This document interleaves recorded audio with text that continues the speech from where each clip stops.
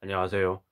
1인당 직장인 1인당 평균 대출액이 역대 최대폭인 10% 이상 급증하면서 5천만 원에 가까워지고 있다고 합니다. 2020년 일자리 행정통계 임금 근로자의 부채에 따르면 2020년 12월 말 기준 임금 근로자의 평균 대출액은 4,862만 원으로 그 이전보다 그 전년도보다 10% 늘었다고 합니다. 17년 이후에 가장 큰 폭으로 증가됐다고 하는데요. 코로나19 확산과 더불어 그 저금리 기조 때문에 유동성이 풍부해지면서 주식시장, 주식시장이 호조를 보이면서 훈풍을 불면서 투자 수요가 확대돼서 대출이 늘어난 걸로 이제 분석이 되고 있는 거죠. 연령별로 대출 규모를 따져봤을 때 40대가 가장 높았다고 합니다. 그리고 증가율이 가장 높은 세대는 20대였다고 하죠.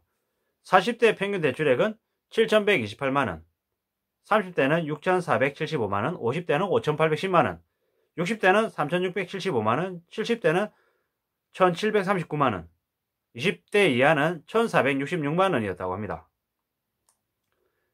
20대는 대출액, 대출액은 가장 적었지만 증가폭은 29.4%로 가장 늘었다고 하는데요. 특히 어, 전세자금 대출 등 주택 외 담보 대출이 가장 큰 폭인 45% 급증했다고 합니다.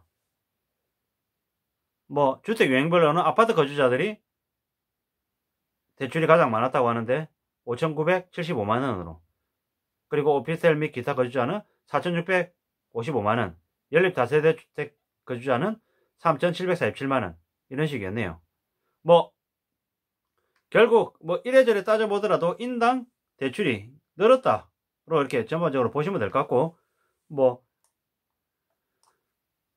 인근 근로자의 소득이 많을수록 평균 대출액이 커지는 경향이 있었다고 합니다. 돈 잘 버는 사람들이 대출 더 많이 받아가지고 더 좋은 집에 산다는 의미였다라고 하는데요.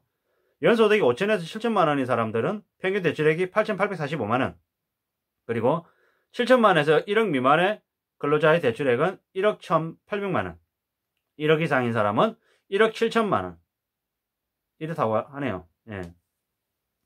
대기업 종사자들이 평균 대출액이 7,600만원, 중소기업은 3,900만원.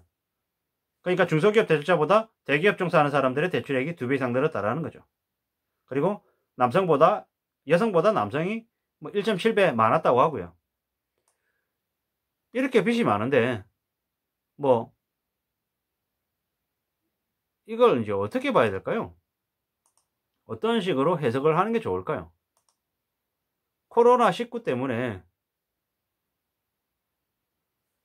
연끌을 하는 걸까요? 뭐 이래저래 이게 어떤 의미인지에 대한 좀 생각을 좀 해봐야 될 것 같은 거죠.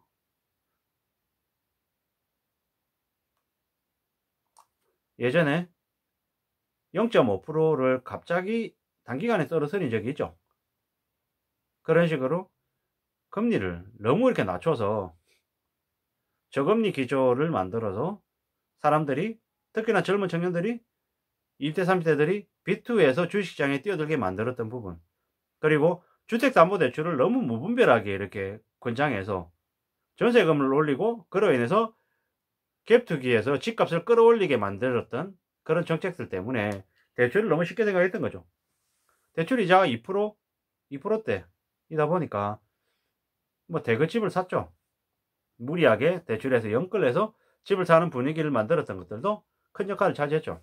집값이 갑자기 너무 오르니까 이어가던 집이 8억하고 10억하고 이런 식으로 계속 가파르게 오르니까 지금 집을 안 사놓으면 영영 죽을 때까지 집을 못 살 것 같다. 그리고 무리하게 이렇게 전세금 이렇게 올려줘야 되는 그런 상만 계속 가다 보니까 몇 년 전에 전세금, 몇 년 전에 집값이 지금의 전세금보다 더 높아지다 보니까 불안 심리에 쫓겨 갔던 사람들이 대거 빚을 냈던 거죠. 주택담보대출, 전세자금대출, 주식담보대출 이런 것들이 되게 많았다라고 이제 보는 거죠. 영까지 끌어모아서 대출했던 영끌 그리고 빚내서 했던 비투 이런 일들이 너무 많이 벌어졌던 거죠. 지금 대한민국의 가계부채가 1900조인데 전세금까지 포함하면 3500조인데 GDP 대비하면 160%가 넘어가는데 매우 심각한 상황이잖아. 이것은 언제든지 부채 폭탄이 돼서 터질 수밖에 없는 거죠. 안 터지면 그게 되려 더 이상한 거죠. 뭐 한국뿐만 아니라 미국도 그랬고 중국도 그랬고 전 세계가 지금 코로나 팬데믹 이후에 저금리로 대출을 되게 많이 내줘서 한국도 괜찮은 거야 라고 뭐 삼을 수 있을지 모르겠지만 실제로 한국이 경제적인 충격을 겪는데 다른 나라들이 도와줄 리 없다라는 거죠. 우리 개인도 내가 되게 힘들고 어렵다고 누가 와서 나한테 5만원, 10만원을 그냥 내놓지 않는다라는 거죠. 개개인에 따라서 각각 사람들의 처지에 따라서 앞으로 닥칠 충격은 다 다를 것이라는 거죠. DSR이잖아요. 원리금 상한이잖아요. 빚을 낸 사람과 빚을 안 낸 사람들의 차이, 그리고 신용점수가 어떠냐에 따라 다른 차이, 뭐, 뭐 여러 가지 사항들이 다 있겠죠. 부채도 많지만 가지고 있는 주택수도 많다. 그런데 그 주택수를 하루빨리 처분할 생각이 있고 정말 현재 호가, 그냥 가짜 가격이 아닌 정말로 실질적으로 사람들이 살려고 접근할 수 있는 가격까지 내려서 처분하겠다는 의지를 가지고 있으면 이 힘들고 어려운 상황을 무리한 빚을 벗어날 수 있는 빚의 굴레에서 빠져나올 수 있는 그런 대응을 할 수 있겠죠. 물론 이것 또한 정말 쉽지 않은 결정이라는 거죠. 시중의 시세가 7억하고 있는데 나만 5개 팔 수 있다? 아 이거 쉬운 일 아니죠. 어렵다라는 거죠. 시중의 시세가 7억이 달아가면 뭐 6억 7천, 6억 8천에 날 수는 있지만 이걸 주택 보유한 사람이 갑자기 6억에 팔고 5억에 판다라고 내놓는다라는 건 정말 말처럼 쉬운 일 아니라는 거죠. 근데 어쩌면 실제 가격은 5억이고 5억 5천일지 모른다라는 거죠. 살려는 사람과 팔려는 사람의 간격이 너무 차이가 크기 때문에 이건 쉽지 않죠. 주택도, 부동산, 주식도 마찬가지라는 거죠. 카카오가 네이버가 되게 가격이 많이 떨어지고 삼성전자도 되게 많이 떨어졌지만 뭐 주변에서 얘기할 때는 시간 지나면 저거 존버하면 장기 투자로 내버려 두면 나중에 회복된다고 하니까 쉽게 손절을 못하는 거죠. 이런 사항들이 어, 가계부채 금액을 줄어들지 못하게 만들 것 같다라는 생각이 드는 거죠. 결국에는 부채를 진 사람들은 그 부채의 부담에 짓눌려서 되게 큰 화를 입을 가능성이 크다라는 거죠.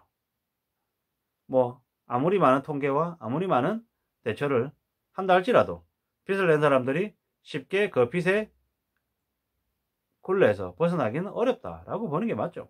그리고 새 정부에 들어서 새 정부가 들어서서 대출 규제를 완화하려는 조짐을 보이고 있죠. 그 때문에 벌써부터 지금 들썩이고 있다라는 거죠. 지금 언론에서는 부동산 분위기를 어떻게든 또 띄우려고 지금 계속 수작을 부리고 있는 거죠. 그러지 않아도 거품으로 일으켜온 경제 성장률과 이 경제 규모를 계속 끌고 가려는 그런 생각들이 많다라는 거죠.